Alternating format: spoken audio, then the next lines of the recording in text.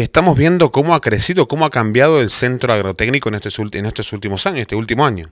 Sí, en realidad en los últimos meses, desde que estamos, hemos trabajado bastante. Eh, se nota mucho lo que hacemos porque estaba todo abandonado, así que gracias a Dios se, nota el esfuerzo. ¿Han invertido mucho en esfuerzo, en dinero también? Eh, en esfuerzo mucho. Dinero, siempre digo lo mismo, eh, obtuvimos un subsidio de la provincia de 35 mil pesos, que lo estamos invirtiendo ahí, y bueno, y después la buena predisposición de, mucha gente que nos ayuda. Eh, aportando algún dinerillo y ahora hace un mes empezamos a cobrar una cuota de socios, que bueno, tenemos hasta ahora 70 socios. El que quiera sumarse puede contactarse con vos. Eh, sí, en realidad, eh, si alguien quiere ser socio, eh, en este momento estamos trabajando en la oficina de EDESA, que está en 25 de mayo y Entre Ríos, y bueno, por la mañana la secretaria de EDESA eh, nos hace el trabajo y bueno, nos anota. La cuota de socios es de 40 pesos y con lo que estamos recaudando nos alcanza para eh, empezar a limpiar el predio para mantenerlo limpio. Igual ya está muy limpio, ha cambiado la cara, ahora que falta la pintura. Sí, sí, falta pintura y bueno, estamos haciendo un convenio Hemos hecho, firmado un convenio con la Universidad Nacional de Villa María, que eso nos puede traer muchos beneficios.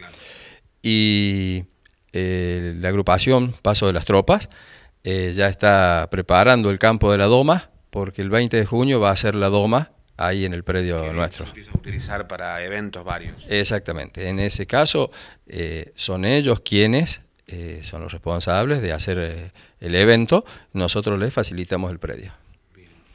¿Qué tiempo les llevó cambiarle la cara al centro agrotécnico, Gustavo?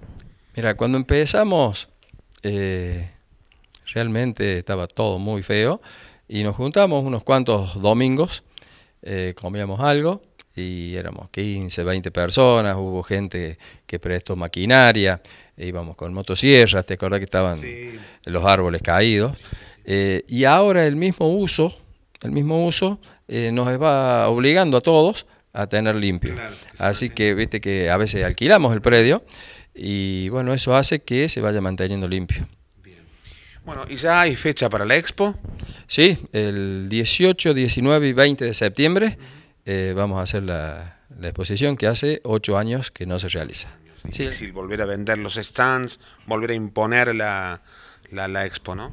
Es un, un doble un doble mensaje. Eh, por un lado, sí es difícil volver eh, después de tanto tiempo. Y por otro, notamos que hay una ansiedad de la gente.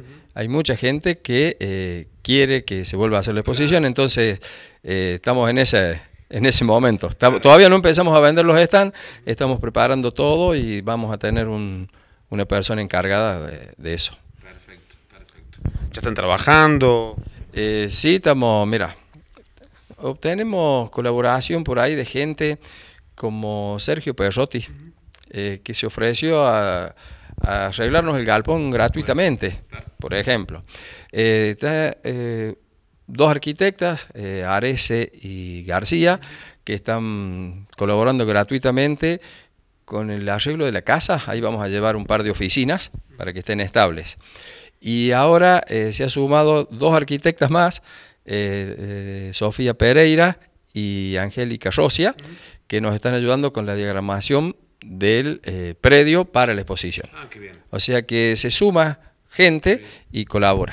En la expo nosotros queremos volver a que haya animales, para eso restauramos todos los corrales.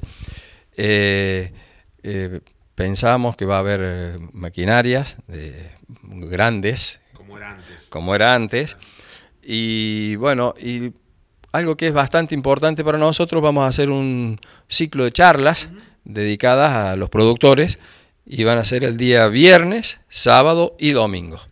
Estamos buscando, ya tenemos algunos disertantes confirmados, pero estamos buscando el resto, ya lo informaremos cuando tengamos todo listo. ¿Mm?